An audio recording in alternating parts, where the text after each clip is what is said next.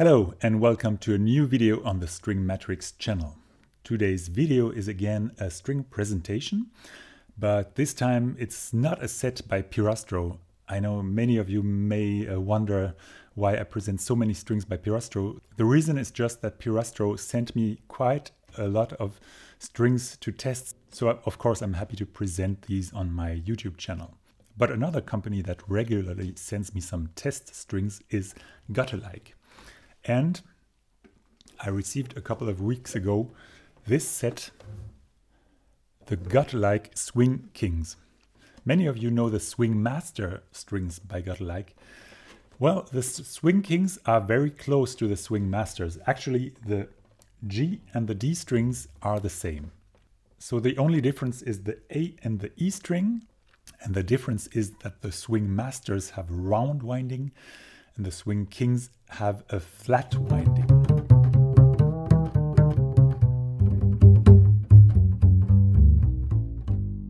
When you go with your fingers over the windings of these strings, you will notice that these windings don't feel totally smooth like uh, flat windings from, let's say, Evah Pirazzi strings.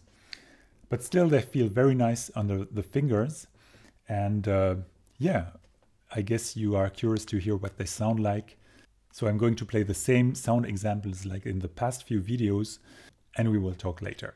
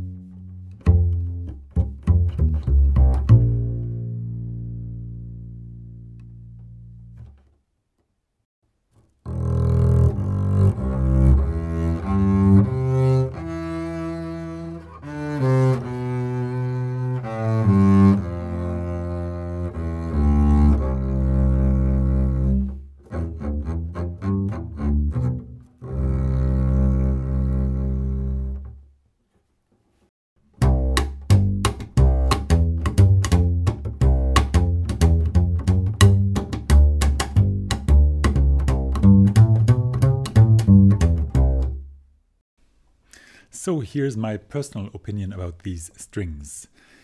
I like them very much, and I think that just like the Swing Masters, the Swing Kings are really good substitutes for real gut strings. The sound is very close to the sound of gut strings, but more than that, they function like gut strings. They have this kind of punch that you mostly only get from real gut strings.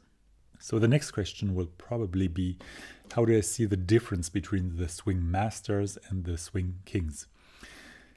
Very difficult question. Actually, I will check myself on my String Matrix on my website. Uh, I will put the sound files of these strings very soon on the matrix and I will compare myself. I think they sound very, very similar. Maybe the swing kings have a little more tension on these low strings which give them something more solid, more fundamental in the sound. But this is just a momentary impression. I will have to check on the String Matrix if this is true. Speaking of tension, I noticed that the D string has a little less tension than the other strings.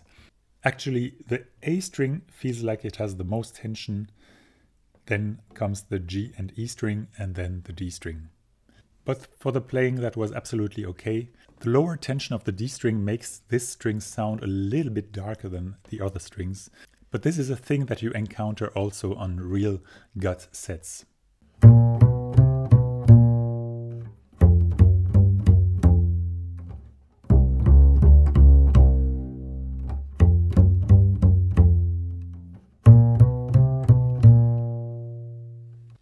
So that was it for today. Thank you very much for watching. Don't forget to give me a like or to subscribe to my channel.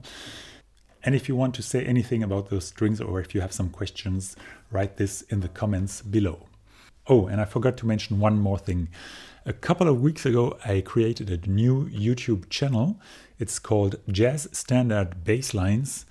And it's actually not really for bass players, it's more for all the other instrumentalists who want to play with a bass player. Uh, so maybe some of you play another instrument and would like to play a duo with me. Check the channel, there are a couple of jazz standards and there will be more every week. And maybe this is interesting for you or for some friends who would like to play duo with a bass player. The link to my new channel is also in the description below. Okay, so I'm going to close this string presentation with a little solo tune for you. Thanks again for watching and see you again very soon. Bye bye.